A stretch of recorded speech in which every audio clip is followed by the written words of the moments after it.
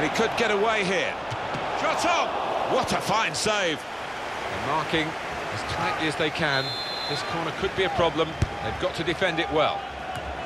This late, and that's great. It must be the winning goal.